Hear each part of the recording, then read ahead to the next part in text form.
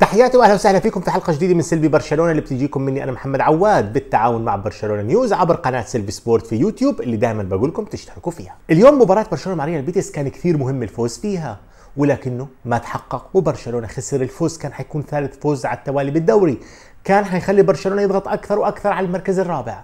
على أمل إنه يوصل ال top four قبل نهاية السنة عشان السنة الجاي تكون سنة طموح سنة ارتياح. كما إنه الفوز كان اليوم حيكون رسالة تطمين وتجهيز نفسي قبل مواجهة بايرن ميونخ الحاسمة والمصيرية هروبا من الدوري الأوروبي. مع التشديد إنه ريال بيتس بيعيش موسم جيد كنا عارفين إنه المباراة حتكون صعبة. فريق متماسك عنده شكل عنده منظومته الواضحة مع بيليجريني وعنده أسلحته اللي بتقدر تأذيك في كثير مواقف. مباراة بيتس مع مباراة فياريال ربما طلبت من الجماهير شوي تهدى من تفاؤلها المستعجل. لأن جميعنا بنعرف إنه تشافي.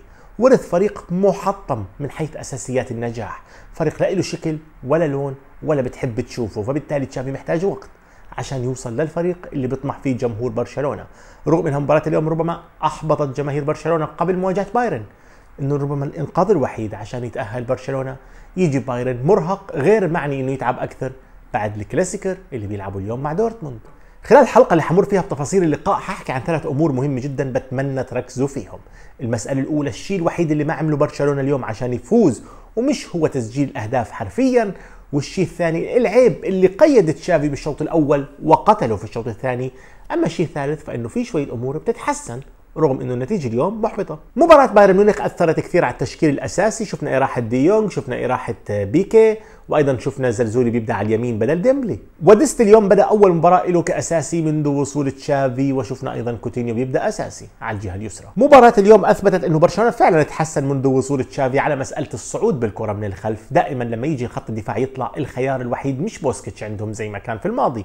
بنشوف دائما لعيبة الوسط عم ياخذوا شكل ممتاز سواء لما كان نيكولاس جونزاليس مع جافي كانوا ياخذوا شكل كويس مع الأجنحة الهجومية تاخذ شكل تعطي خيار مختلف للصعود بالكرة غير الخيار القديم اللي كان سهل جدا تحاوط فيه برشلونة لأنك عارف إنه الكرة لازم تمر من عند بوسكيتس أيضا البرشا مع تشافي حافظ على فكرة توسيع رقعة اللعب بالشكل العرضي فدائما الأجنحة موجودة سواء لما كان كوتينيو أو راح الزلزولي مكانه أو ديمبلي لما اجى بدل الزلزولي دائما الملعب مفتوح من اليمين لليسار وهذا الشيء كان عيب كبير في برشلونة في الفترة الماضية.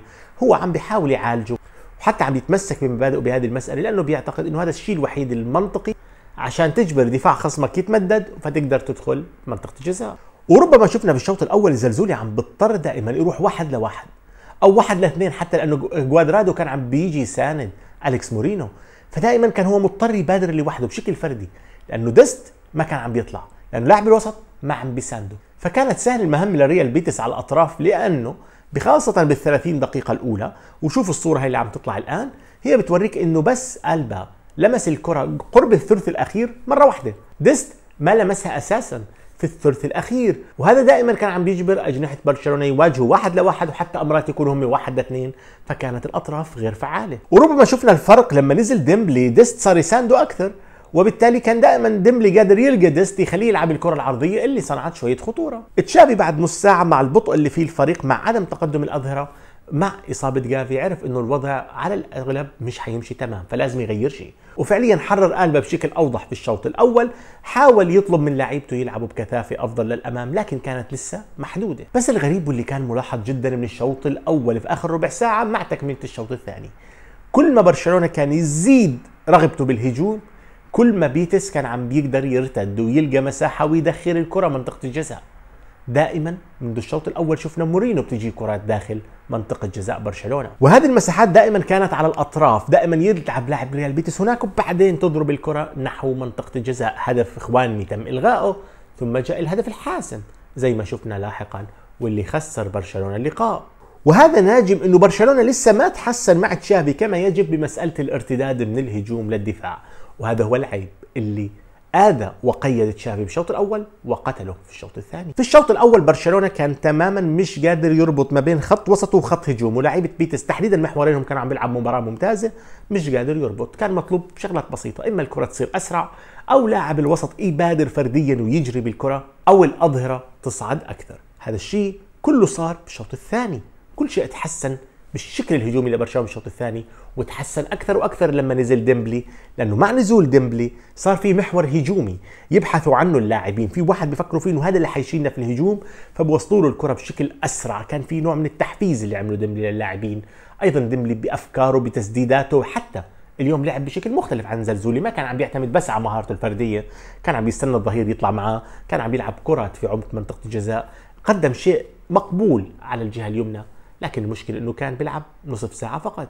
أيضا دخول دي يونج حسن منطقة الاستحواذ. فشفنا إنه برشلونة لما كان يستحوذ قبل دي يونج بالثلث الثاني من الملعب مع دخول دي يونج صار على مشارف الثلث الأخير في الملعب فالكرة عم بتدور بس بدها غلطة واحدة من بيتس وبتدخل منطقة الجزاء وكثير دخلت كرات منطقة جزاء. بيتس وخلق أكم من فرصة. بالرغم من تعرضه للمراوغة قبل هدف بيتس لكن دي يونج عمل اللي كان لاعيبة وسط برشلونة لازم يعملوه في الشوط الأول اللي هو يركض بالكرة مش بس مجرد بده يمرر الكرة يركض فيها عشان يجد مكان أفضل يمرر منه ومكان أفضل يمرر له.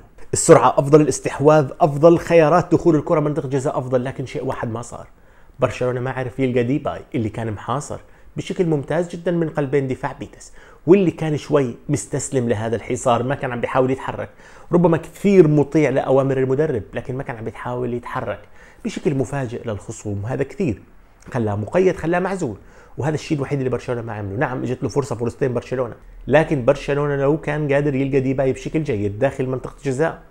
أعتقد كان هو أو غيره سجلوا أكثر من هدف بالشوط الثاني. صعوبة المباراة تكتيكيا مع خصم بعيش حالة فنية حتى الآن أفضل منك بشكل عام مع تفكيرك الذهني والبدني في مواجهة مصيرية مع بايرن ميونخ. مع إنه الفريق لسه ما تحسن ببعض الجوانب الأساسية في كرة القدم. مع غياب فاتي والخوف على ديمبلي وبالتالي بتلعبوا نصف ساعة بس. صعب أتخيل إنه كان ممكن المباراة تيجي بإخراج أفضل من تشافي. نعم خسر لكن كان ممكن يفوز. وشفنا مثلا أكثر من فرصة ضاعت كان ممكن تودي المباراة للبرشا. الموقف بشكل عام اللي فيه تشافي الآن في هذه الفترة هو موقف محير حتى محتاج وقت محتاج سلسلة نتائج حتى يبدأ يقدر يعني نحكي يتجرأ أكثر يطبق أفكاره. هارد لك لجمهور برشلونة. بنوصل هون لنهاية هذه الحلقة. كنت معكم أنا محمد عواد موجود فيسبوك تويتر إنستغرام وتيك توك أيضا. والسلام عليكم ورحمة الله.